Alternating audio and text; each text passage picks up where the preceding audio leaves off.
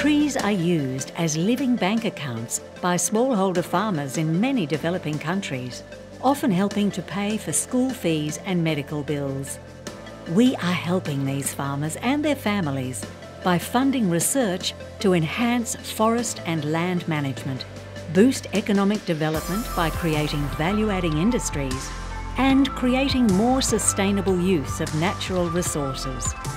currently investing more than 50 million Australian dollars, our forestry program funds 26 projects across 15 countries in the Pacific, Asia and Africa,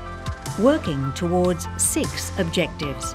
These are to improve food security and reduce poverty among smallholder farmers and rural communities,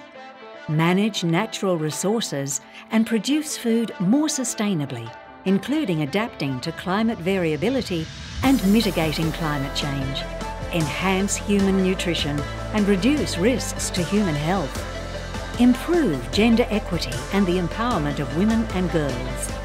foster more inclusive agri-food and forestry markets by engaging the private sector where possible, and build scientific and policy capability in our partner countries.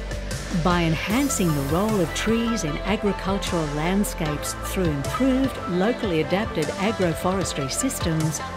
we are helping transform the lives of smallholder farming communities throughout the Indo-Pacific. We are also helping our partner countries achieve many of their sustainable development goals.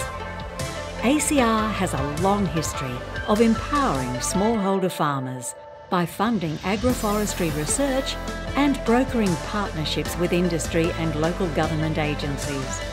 Together, we are working towards a future where more productive and sustainable forestry practices can unlock economic potential,